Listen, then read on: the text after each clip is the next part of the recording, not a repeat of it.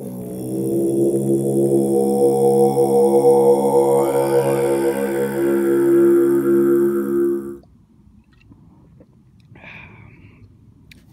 Guru. It's October. And it's picking time. And uh we got a lot of picking to do. And a lot of flat rate boxes to ship out. Let's see.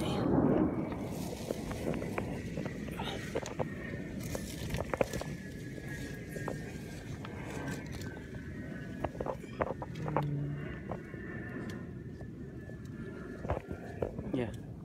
That's why I was like, who is he talking to?